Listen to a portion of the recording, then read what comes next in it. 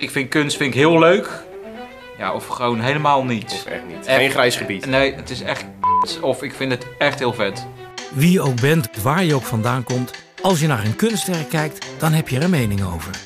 Sommige dingen vind ik minder aantrekkelijk en sommige dingen die vind ik aantrekkelijk. Is het alleen bij een museum of ook? Zo ook onze cultuursnuivers. Elke week sturen wij dit diverse gezelschap naar een museum in Nederland. Ik moet wel kunnen begrijpen wat iets inhoudt. Om daar kunstwerken te voorzien van hun commentaar. Ja, ik dacht dat het bij de kringloop vandaan kwam. Ja. Ja, echt waar. Vandaag zijn we in het museum Beelden aan Zee in Scheveningen.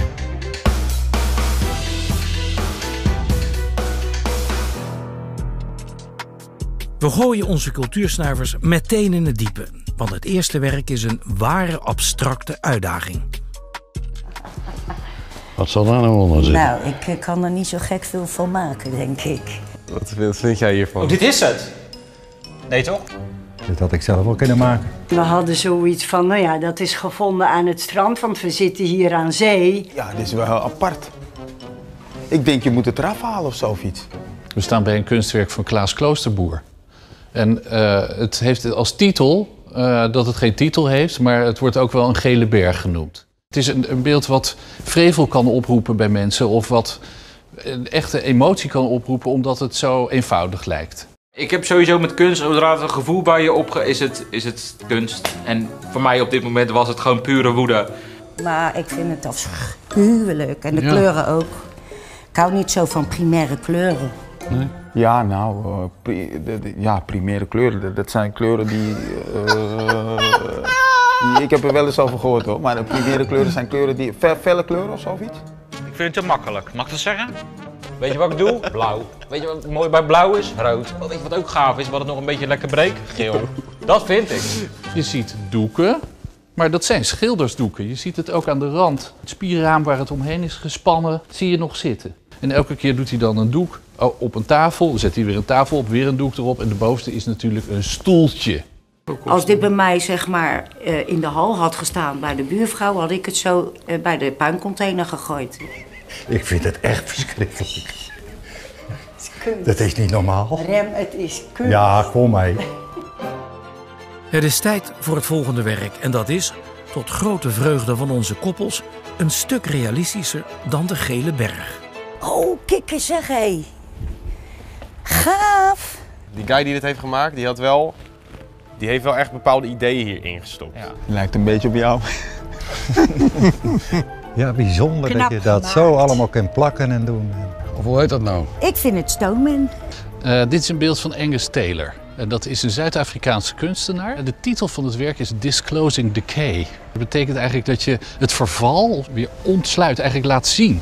En hij wil eigenlijk hiermee laten zien de, de ouderdom van de mens, de, oer, de oertijd. Het is een beschadigde man eh, die zoveel gewicht op zijn schouders had. Oh. eh, dat hij eigenlijk eh, vond dat hij de wereld moest dragen. Maar dat kon hij niet. Je hebt hem helemaal ontleed. Ja, ik denk dat het het is, Ik man. vind het echt ook.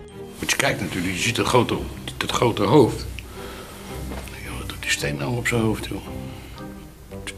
Ja, of hij Ja. de boel, of hij de boel in balans houdt, weet je. In balans. Ja, hij is in balans. Dat is het goede woord. Ja. Zie je dat je meer verstand hebt van kunst dan ik? Hij zou, bla- hij zou blank kunnen zijn, Ja, maar misschien niet. heeft hij invloeden. Ja. Ik denk niet dat hij helemaal... Als je kijkt hij is naar- niet Tata. Je ziet gewoon dat het een, dat het een donker iemand is die, die, die, die daar is, omdat het misschien zo uitgebeeld is. Ja, als je, Ja, zeg het maar. Ja. Wat wil je zeggen? Als donker? als je donker bent, moet je Ja. soms wat harder werken om gezien te worden. Dus, Dus dat, maakt, dat- maakt mij dat extra trots mooi, dat, ja. dat hij dat zo goed heeft eh, overgebracht. Ja. Hij komt zo uit die berg zo. En dan blijft die steen en hij is, van, hij is een gesteente. Je hebt het gevoel van, hé, hey, waarom ligt er een steen op zijn hoofd? Maar het is dus eigenlijk meer een figuur die oprijst, hè? uit de grond. Ik hoop dat je er over 100 jaar nog staan. Nou ja, verweerd en wel en groen. Het derde en tevens laatste werk van vandaag is een eerbetoon aan de koninklijke familie.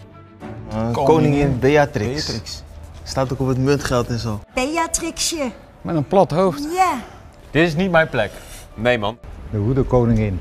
Waardig. Het museum is geopend door koningin Beatrix. Ze was toen ook koningin. En toen heeft Arthur Spronke eh, eigenlijk een monument bedacht voor het hele gezin. En dat komt bijna nooit voor. Dus eigenlijk moeten we onszelf best wel vereerd voelen. We staan gewoon eh, voor eh, de oud-koningin uh, in haar gezin gewoon hier ook van. Ja. ja, ik heb liever een koning als een president. Ja, ja. Is dat niet Bernhard of is hij Bernhard?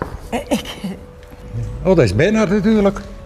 Weet je dat Charles, niet? Charles of zo? Nee. Ik denk, het is niet Charles. Nee, het is niet Charles. En we zien eh, de kinderen, eh, de moeder en de vader, Klaus, eh, afgebeeld. Hoe hard zou je het vinden als dat Puff Daddy was en dat Biggie Ja, en dat, dat, dat zou Jay-Z? tof zijn. Tupac erbij. Wa- Wat moeten we met die palen aan? Wat vind jij? Niks lekker laten staan, die gaan ze nog niet weghalen.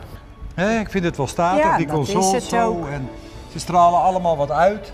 Eh, omdat het hoger is. En nou ben ik 1,70, dus alles is al Je- dit. weet je, maar dit, vind ik, dit vind ik niet Ik voel het helemaal. helemaal, man. De kop van Beatrix, die verschilt van de andere doordat eh, er wat verguldsel is aangebracht op haar gezicht en op de bovenkant van het hoofd.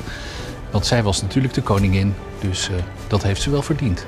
Ja, ik vind het helemaal geweldig. Ik vind het heel mooi gemaakt, hè? Ik ben blij dat ik hier geweest ben. ja, Ja, mooi gezien. ja. Dag Kiro. Zo. En dan zit het er alweer op voor onze cultuursnuivers. Ik vond het ook echt heel vet. Buiten al mijn verwachtingen om. En ik ben ontzettend, fucking ontzettend benieuwd wat eh, de volgende keer ons gaat brengen.